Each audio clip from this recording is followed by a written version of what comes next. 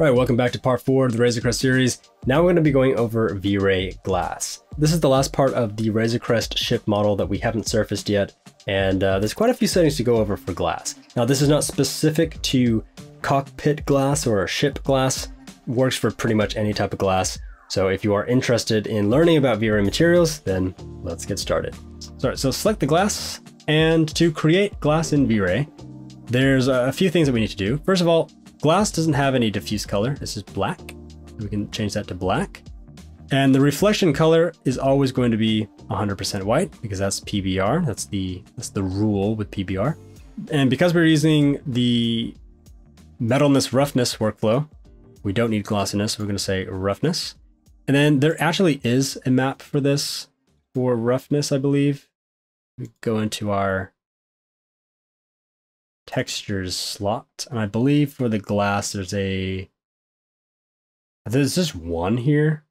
So technically we don't even need to UDIM this, it's just one. So we can just say that, and we can just leave that number, it's fine.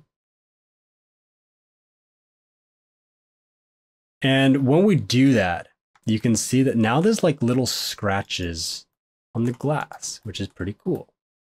Now, just to show you the difference now between roughness and glossiness, if I were to switch this, well, now this is interpreting this image completely in the opposite direction. So for example, if I go back here and I open up this image, anything that is black with glossiness means it's not going to be glossy. It's going to be a very diffuse reflection, very spread out, like a matte finish. And then all the white areas are going to be super bright. And to me, honestly, glossiness makes more sense than using roughness just because I'm more used to seeing things like reflection maps and specular maps and things like that. The types of maps that you don't usually use specular maps, I think, anymore.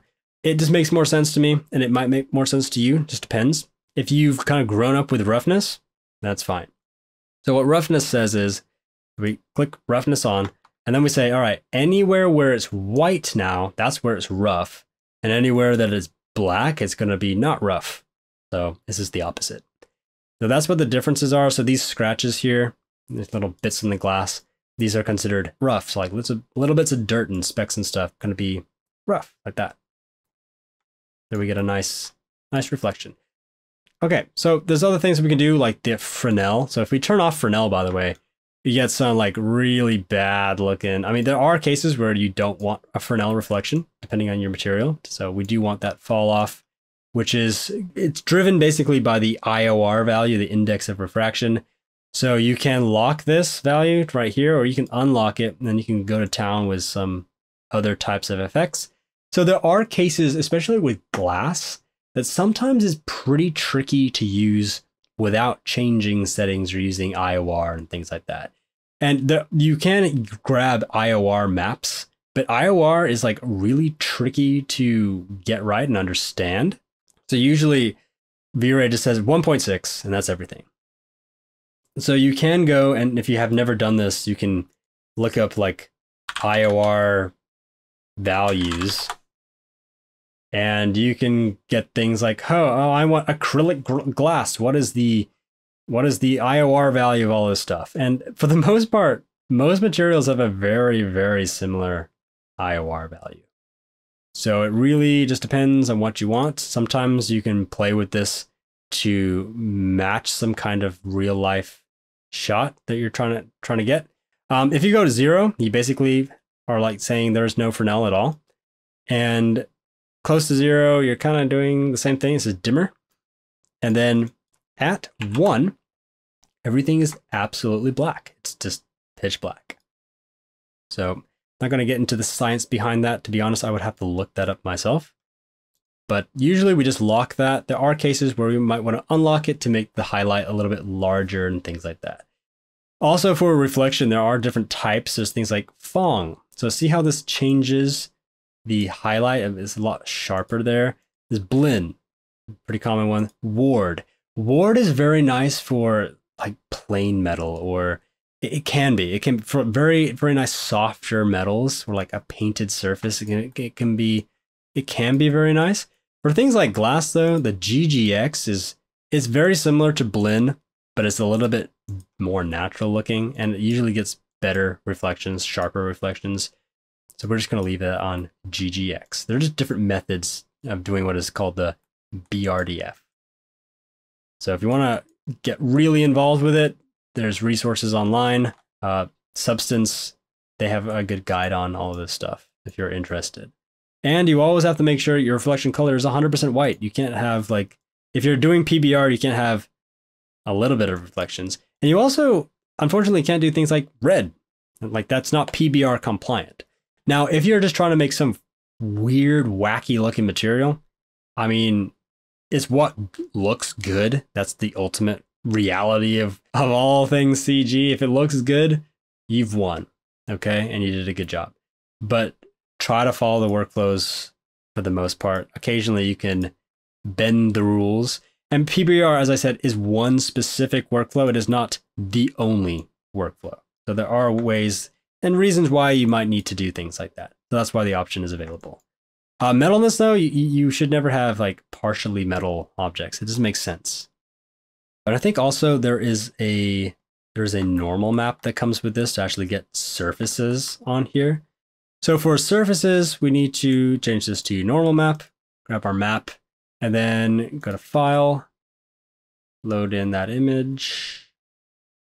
And I believe this is just a singular map as well. Grab that. This is going to be utility raw. And, notice if I leave this on sRGB, the normal map is wrong. Not what you saw in Substance, for example. So changing that to raw kind of shows you that it's right.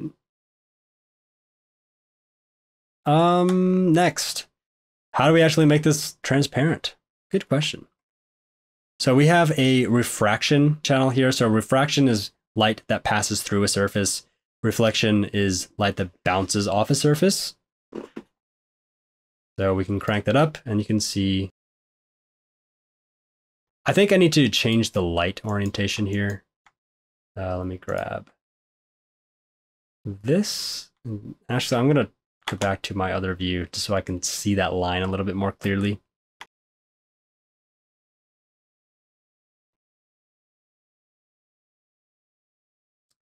And uh, I'll just move that there. Yeah, unfortunately, the V-Ray viewport IPR sometimes doesn't update or doesn't let you get out of it unless you stop it. So that's why I just did that. Uh, this might be a better view to, to see this part. But there's also uh, this annoying feature. see how you zoom in, it gets darker and darker and darker. Uh, that's the auto exposure at work on the camera.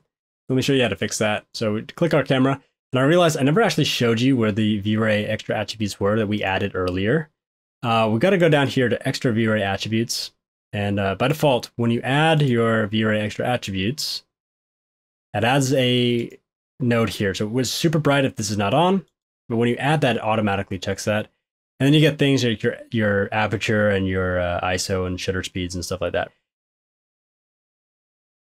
So as we zoom in, it's it's kind of kind of dumb. Uh, you can do what is called specifying your focus, and specifying the focus allows you to zoom in usually, and it's fine. Uh, it's kind of annoying that you do that. This is also used for the depth of field, but uh, we're good. Let's just turn that on if you want to be able to zoom in and not have issues.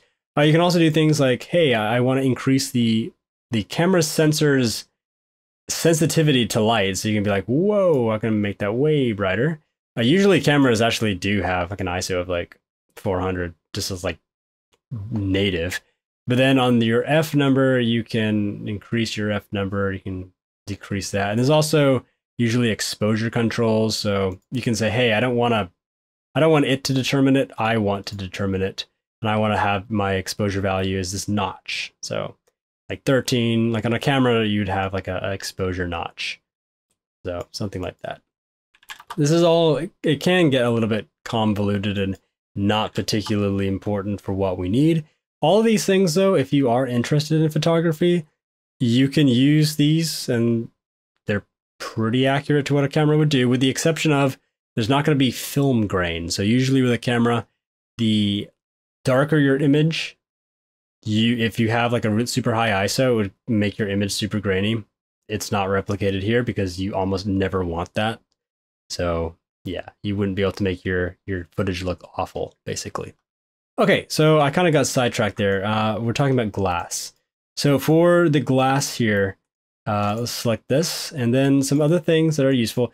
So there is an option here for your IOR. So depending on how much light you want to pass through it, you can lower your IOR to something like 1.1 or like 1.01 to let some stuff pass through. And you can see how it distorts the image. Uh, that's not really going to be like what most glass is going to be though. So if you want to look up the IOR of like actual glass, I think it's a value of like 1.57 or something. You can just type in on this IOR index list glass 1.5. Okay. 1.5 if you wanted to be super accurate with it. Cool. This glass looks a little bit awkward because of this the shape and I guess the thickness too. So this is dependent on the thickness of the geometry that we have. So if we solo that, so just control one to solo that, and you can see that there really is no thickness on this glass at all. So that's kind of a problem, to be honest. That's um that's not correct. We, we really would want to have a little bit of thickness for this to work. You could extrude it backwards and then invert everything, which is probably the probably the easiest thing to do. So we could do Control E. This is going to extrude everything, and we just pull that in a little bit, so something like that. And you can see now this actually has thickness.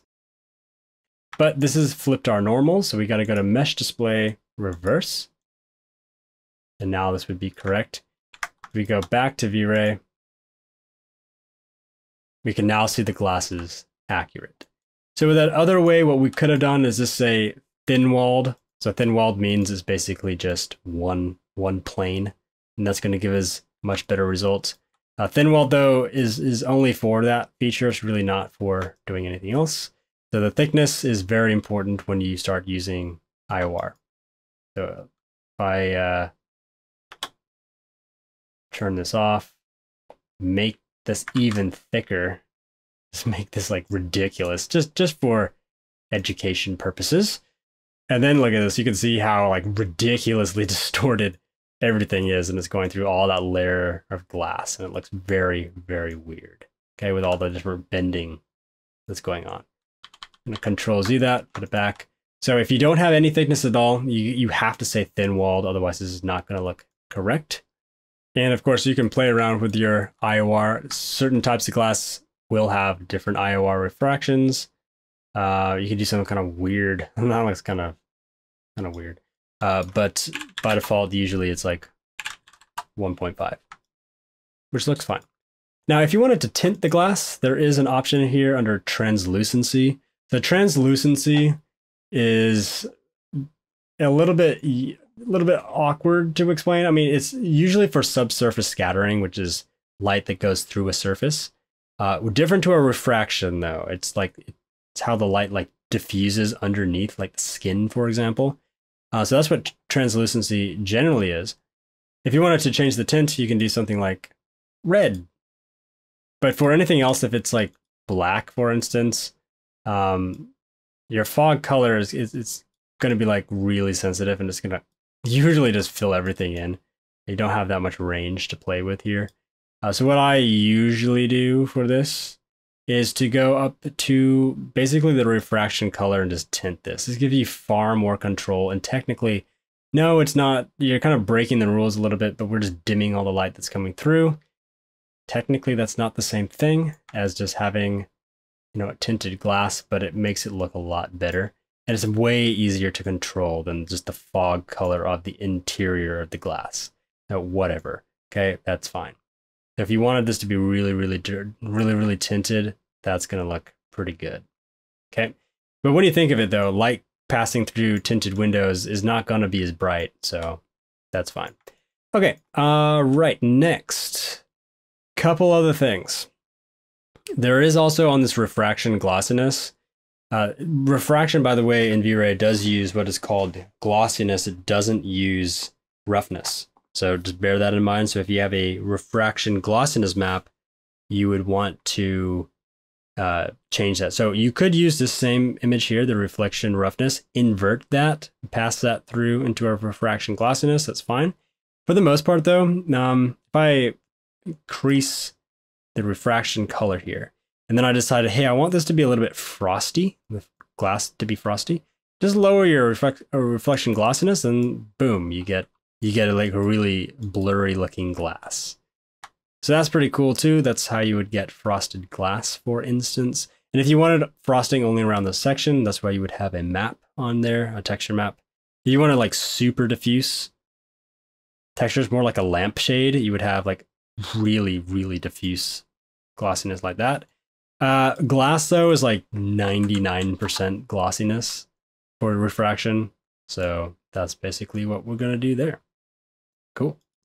Okay, uh, I need to just lower that just a little bit, make that a little bit dimmer, but that's that's up to you.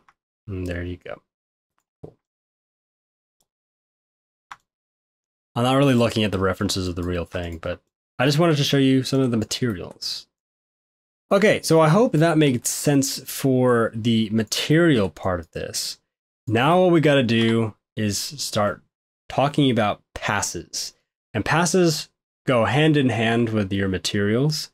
So we're going to break this video up into other parts. In the next part, we're going to talk about passes. And then as we progress, we'll talk about render layers. So I highly recommend you play around with this. See what happens when you you change certain certain things. Like if you decide that, oh hey, I don't want my metalness anymore, you can break the connection. Like, what happens to my material? Like, what does that look like if I go back to something that's not metal anymore. Like maybe that's what you want. Maybe you want to coat the Razor Crest in paint.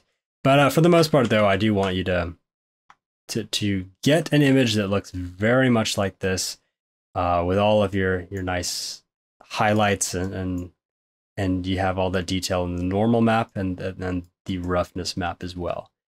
So hopefully this was a review for the most part. Maybe you learned something new about V-Ray if you haven't used V-Ray before.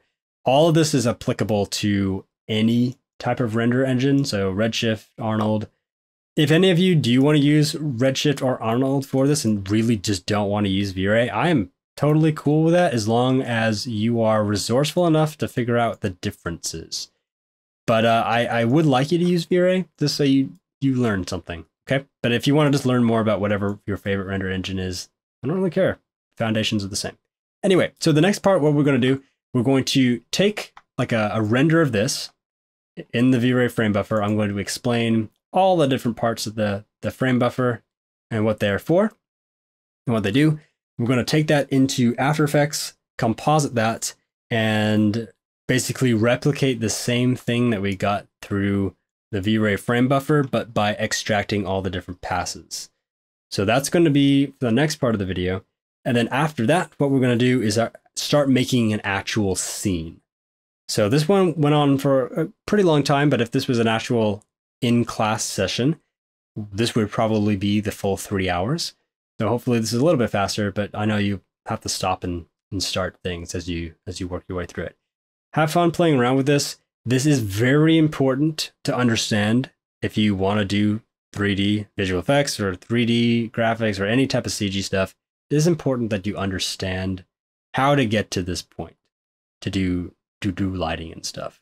So we barely scratched the surface of lighting, uh, but using a sun and sky, using an HDR, hopefully that was useful. So as always, let me know if you have any questions, and I will see you in the next video. Alright guys, thanks for watching. If you have any questions of what we've covered so far, please leave a comment on any one of the videos or post in the Discord server and I would be happy to help. Alright, see you guys in the next video.